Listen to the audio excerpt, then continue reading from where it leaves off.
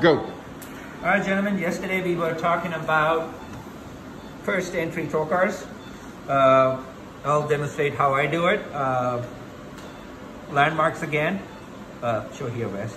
Xiphoid. Now she's had an abdominoplasty done, so her umbilicus is all off. But to say, for example, we'll just say this is the umbilicus. Mark the left costal margin in your Palmer's point. You have the gas on, please. So a little bit of a numbing medicine. Uh, I mentioned in the last video, I don't know if you guys got to open it or see it or not, uh, is crucial thing is not knowing just where the Palmer's point is, but make sure you feel the actual rib. It has happened to me in the past. Which one, blue or white? Clear. White. Uh, yes, huh?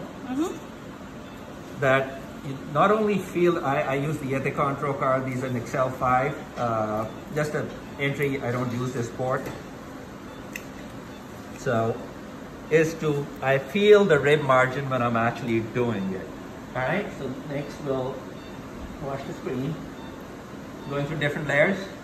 Nice and slow, take your time. Muscle. Posterior fascia and Here's the peritoneum. Skive a little bit. Let the pneumo do its job. Take your time.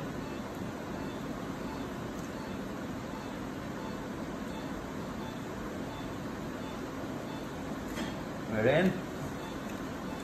So let's take a peek.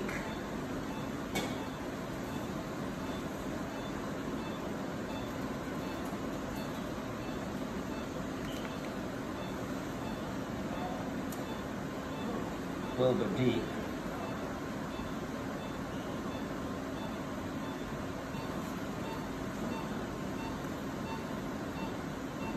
Go. Rest of the ports are based on what it shows on the inside.